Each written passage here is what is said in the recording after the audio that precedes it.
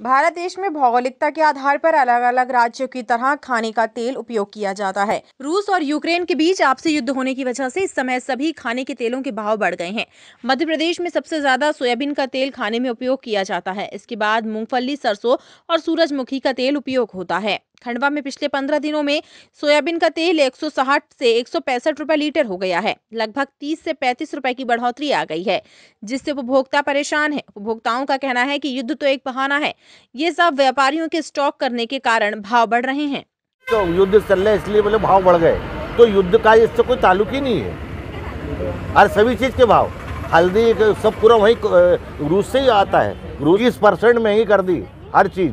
तेल तेल ते, तेल भी अरे तेल को तो एक सौ पैंसठ रुपये किलो कर दिया तो सभी के भाव बढ़ा दिया वो सब कह रहे हैं कि युद्ध का कारण है। युद्ध का कोई कारण नहीं है लोकल इतना माल गोदाम में भरा है इनको गवर्नमेंट को छापा मारना चाहिए। और सही दाम में मिले पब्लिक को। शुद्ध तेल सोयाबीन का अब सब पब्लिक वही खा रही है शुद्ध तेल तो मिलते ही नहीं। शुद्ध नाम की चीज़ भी इंडिया में रही नहीं गई। कोई नहीं जाँच करता। अधिकारी मस्त खा रहे हैं उनको कमीशन मिलने का को खाएँगे जेब पे आर्थिक असर बहुत ज़्यादा असर पड़ रहा है। और इतना असर पड़ा गरीब आदमी तो मर ही जाएगा।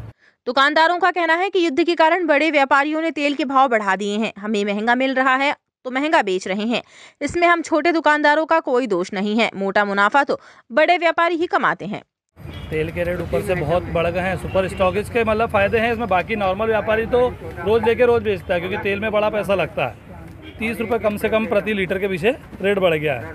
जो तेल एक सौ तीस रुपये लीटर बिक रहा था एक सौ साठ रुपये लीटर हो गया है। अठारह उन्नीस सौ रुपये वाला डब्बा बाईस सौ रुपये डब्बा हो गया। है। सोयाबीन का बस सोयाबीन में ही। बाकी नॉर्मल तेल है। पल्ली तेल वगैरह में तो वही रेट है दस पाँच रुपये की तेज़ी आई है क्योंकि उनके रेट पहले ही हाई थे। बाकी सोयाबीन में अच्छी खासी तेज़ी आई है तीस रुपये लीटर की। वायदे बाज़ार चेंज होते हैं तो ऑटोमेटिक इन चीज़ों पे प्रभाव पड़ता है। और इसमें नॉर्मल दुकानदार का कोई वो नहीं है। बड़े सुपर स्टॉकिस का फ़ायदा है जैसे कई लोग दस दस टेंकर फंसा के रखते हैं। दो पाँच डब्बे वालों का क्या आज है तो कल बेच देंगे वो।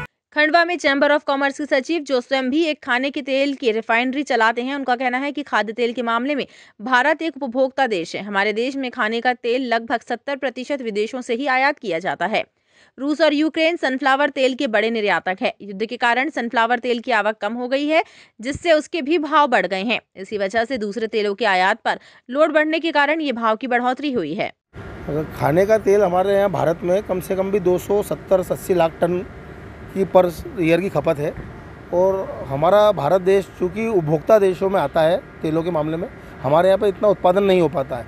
हमारे यहाँ हमारी खपत का करीब करीब साठ से सत्तर परसेंट तेल, खाद्य तेल हम लोग विदेशों से आयात करते हैं और अभी पूरी दुनिया के अंदर युद्ध के बादल मंडरा रहे हैं और इसके कारण बहुत सी चीज़ों के दाम बढ़ गए हैं। जहाँ पर जो खाद्य तेल पैदा होता है, जहाँ रिफाइनरियाँ हैं, जैसे यूक्रेन यूक्रेन से हमारे यहाँ पर सनफ्लावर ऑयल बहुत ज़्यादा मात्रा में आता है।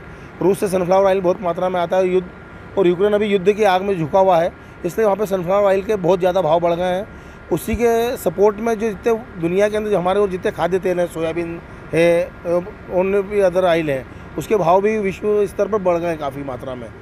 और जहाँ से हमारे यहाँ तेल आता है, अर्जेंटीना, ब्राज़ील, अमेरिका, यहाँ पे भी इस वर्ष जो सोयाबीन की क्रॉप है, वो थोड़ी सी ख़राब हुई है उसके कारण भी वहाँ पर विश्व में बाज़ार बढ़ गए हैं। इंडोनेशिया, मलेशिया से भारत में पाम तेल का इंपोर्ट होता है।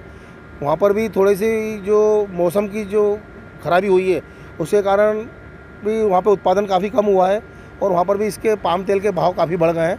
इसलिए हमारे यहाँ पे जो भाव बाज़ार, भारत में भाव बढ़े हैं, वो विश्वव्यापी तेज़ी के कारण ही बढ़े हैं। तो हमारे यहाँ पे जो तेल के भाव रहते हैं, खाद्य तेल के विदेशों के ऊपर ही निर्भर है। हमारे यहाँ पे तेज़ी मध्य से उसका कोई इफ़ेक्ट नहीं पड़ता। रूस और यूक्रेन के बीच ऐसे ही जंग अगर जारी रही तो खाद्य तेल के साथ अन्य सामग्रियों के दाम भी बढ़ सकते हैं। टाइम इट मध्य प्रदेश के लिए खंडवा से शेख रेहान की रिपोर्ट। मैं वर्मा और आप देख रहे हैं टाइम एट मध्य प्रदेश। अगर अब तक आपने चैनल को सब्सक्राइब नहीं किया है तो चैनल को सब्सक्राइब कर लें इसके साथ ही चैनल को लाइक, शेयर और फॉलो करना बिल्कुल ना भूलें। हमें इंतज़ार रहता है आपके कमेंट्स का।